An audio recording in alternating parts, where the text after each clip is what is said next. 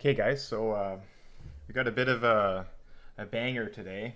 Uh, this, this, is a really quick match, uh, and I always like giving uh, giving you guys these matches, or is actually watching live.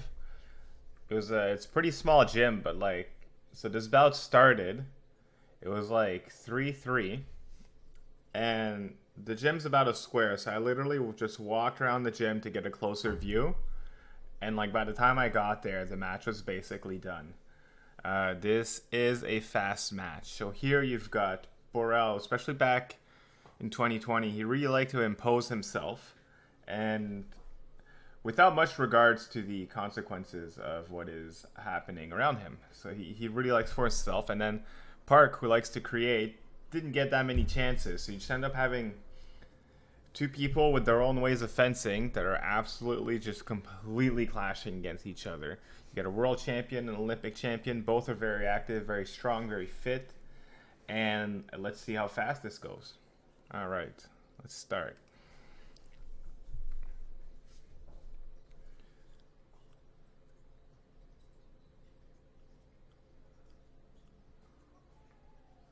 Right away, right? Just one, two, three, go, pick an action, get your hit. Borel gets kind of just caught a little bit not ready. So right there, you see it. He instantly just pushes back. Not to be uh he really doesn't want to be be caught being passive.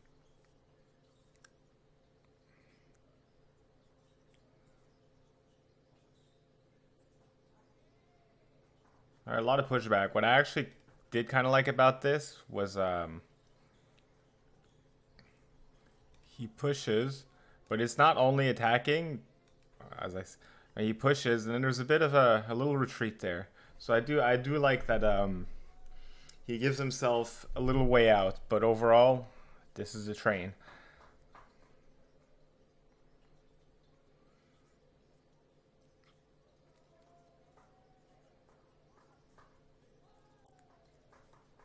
And then Park just does not. this was like really close.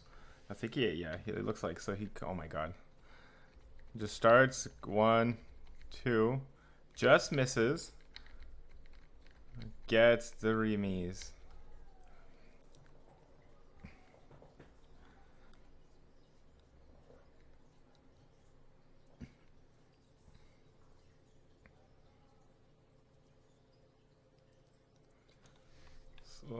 I don't know why it wouldn't be good. So right, right there, you can tell he just doesn't want to be bullied. So he just goes in right away. Like a lot of like, they're basically just playing rock paper scissors for the next minute. Ah, so so this is a back turn. This is a full back turn. It's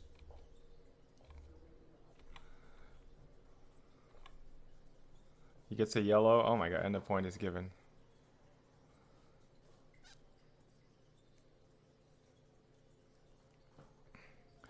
Ryan, referee, there's tough calls, but like, look at how Park just takes it. There's not much you can do, right? You've been had, uh, and that's good. And honestly, good on the ref for just giving it. Uh, thank your ref. I'm basically just making a shout at the ref. This is Canadian ref, Dimitri. Uh, refing is a very thankless job and it is very much needed. So as much as I may be a hypocrite because I like to argue with refs all the time, uh, you know, be nice to your refs or at least uh, if you see them outside, say hi, what have you. It's very hard, especially in epee. The one time, right? Because in epee, there's a lot fewer decisions to be made. The one time they'll be wrong, they'll never stop hearing about it. So trust me, they know.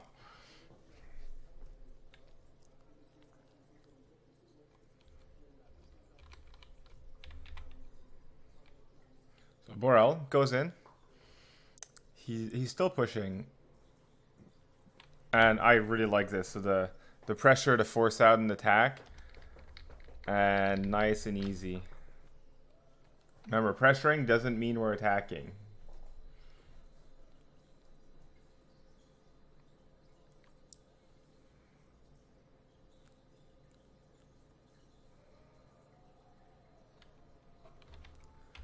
So how did that? goes. Ah, okay, so Borel goes in low hand, thinking that there is going to be a bit more to this. Yeah, he tries to grab eight, but Park just snipes top.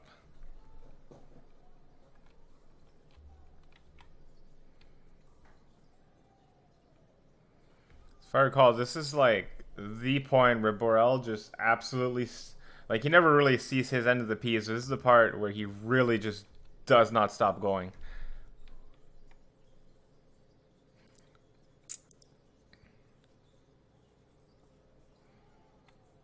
As I say that, he backs up and gets hit. But this is a nice one.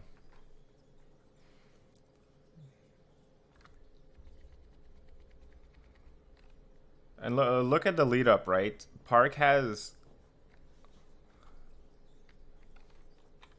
He's got it right. He leaves one prep that can turn into a lot of things. Check it out.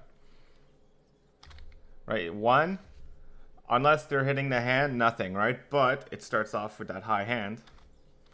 That way the next time Borel reacts, he sweeps it in. So by pinching your fingers, right, you're both taking 8 and you're disengaging. Doesn't matter. So overall, just a good prep that can open three doors. Not bad.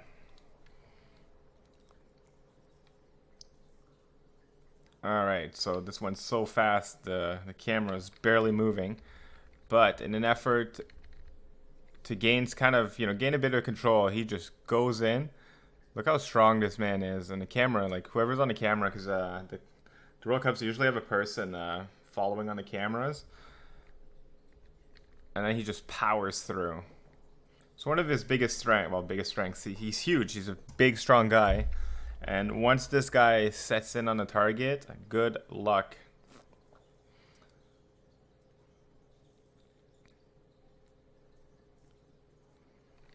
And more. So right now, like, Park just can't prepare. You've got this guy rushing at you, and how do you beat that, right? This guy is clearly not going to back up. He's not going to let you play.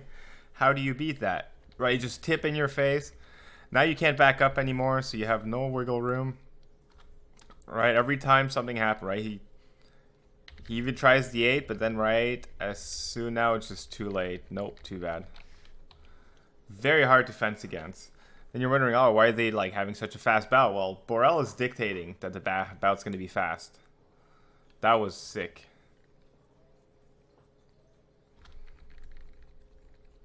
Nice. So this is a big part of pressure that uh, is really hard to grasp, right? Because when you're pushing, you're very focused on attacking, but at the same time, a lot of us, my present company included, you forget that you're creating a bit of a void, right? You're pushing, but you can still use that to draw people in. Pressure does not mean you have to attack, and a lot of times, even as I'm saying it, well, that's obvious. But then as soon as you start fencing, like your brain just leaks out your ears, and you're done.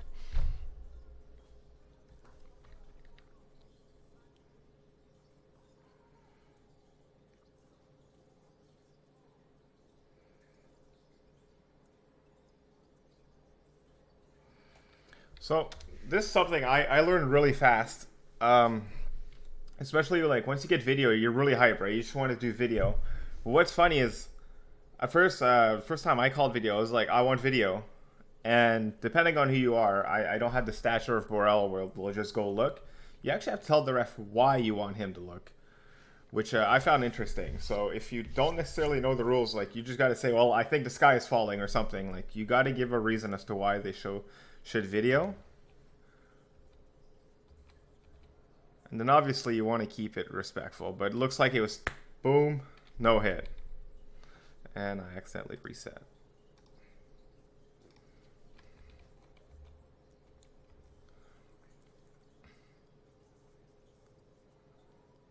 Also, I think one of them just Park just missed. Like Park just does not want to be at the back of the strip now. But Borel, like, Borel's just longer here, right? Same, boom. It's a Borel difference. Park does not want to be the victim. Oh my god, this is actually so clean though. See, look, look at as like this was borderline premeditated. Look how he just locks in. Boom. The fact that Borel doubles is uh, actually quite impressive.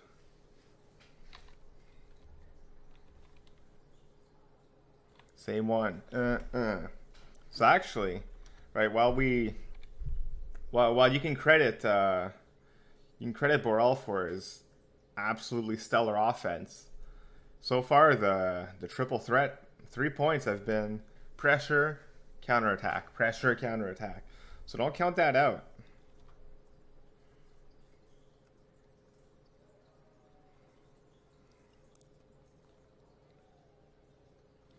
But see, so here's my issue here, right? Once Borel is up two, you can't really attack him, right? Which is where something now in the most recent Doha tournament, uh, a lot of people are crediting him because his counterattacks were so strong. And I, I would, uh, Obree was pretty, probably just like ran a number on him. But right, a guy like that, once he's up, there's no way he should keep forcing unnecessary attacks, which I think is where the biggest difference came right? He's no longer just rushing. A lot of it is you get your lead and then I wait it out. I you cannot break me and I will not like, you know, I will not break mentally. Right, to me, in this in this uh, circumstance, like up two at this point, I think all Borel has to do is manage. Like Park cannot find any holes. But that being said, against a Korean, do you really want to take him to to a nine minute uh, showdown, right? It might have been part of the plan. Maybe Borel didn't want to take uh, Park to uh, that to that full nine minutes because Park will move up and down the strips. We've seen his footwork. Check out his Instagram. He's got uh, some of the best footwork in the biz.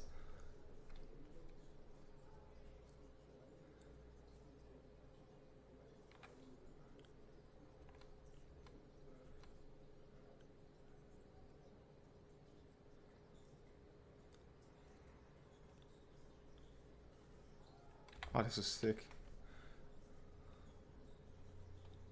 So show. Uh, okay, so th this happens really fast, but see how he shows six. That instantly gets Borel's mind on a parry. Instantly hesitates, but he's actually driving.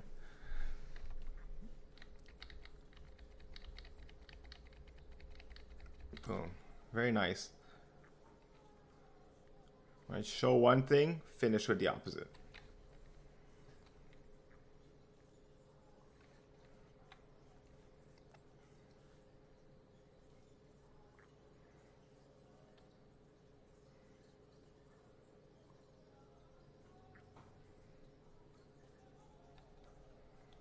Why does that work?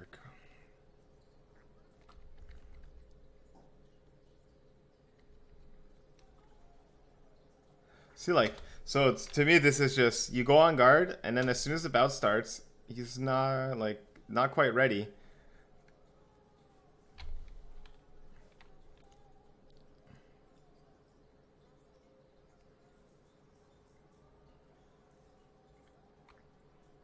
Man, these two are just rushing.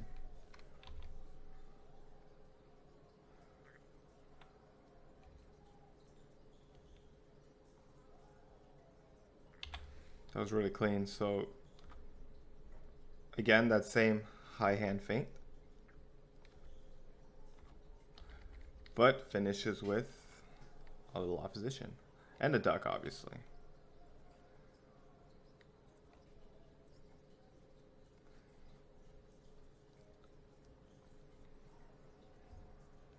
Right, so this is basically like you can't give you can't give a guy like Borel that backwardsness. You need to be like very strong in your even your posture, just your intentions. They need to be very forward.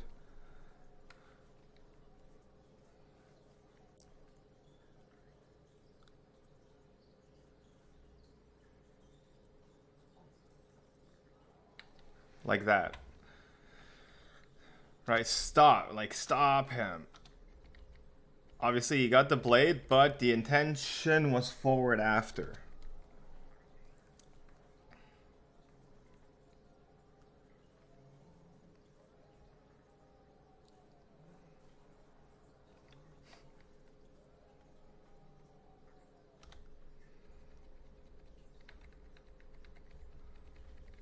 Just hits it first, right? So there we have it. Clock runtime, two minutes ten seconds. We've seen longer saber bouts, folks. Uh, so what happened here, right? So you got a guy like, and my obviously like this is all hindsight stuff, right? I, I see the bout and I, you know, I, I'm not Borel in top eight. I'm not Park. Like a guy like Borel, once he's up, he doesn't need to gamble as much, right? He needs to manage that bout with all his attributes, being an absolute mammoth of a fencer. You can't pass him. Like a lot of the onus there was on Park to go create and not uh, like not be the victim to all these things. Uh, he was always on the back foot, honestly, even in some of his, uh, in, in, in a lot of his hits. A, a, lot of them felt like, right, I just don't want to be pushed, I'm going to attack. And then Borel wasn't ready from the get go. Uh, and then you'll see, uh, go watch the Qatar final, uh, watch Borel all day. It's a way more controlled version. Like those counterattacks, oh my god. Like the man is a beast. There's no way a guy with that physical stature shouldn't be able to manage a bout and just keep it. But obviously, like live and learn. Uh, obviously, and Borel, I mean, this top eight, right? It's not even Scott fan. Uh, he had a lot of success, right, with a, a, very purely aggressive style. Once people kind of figured it out, he had a bit of a slump.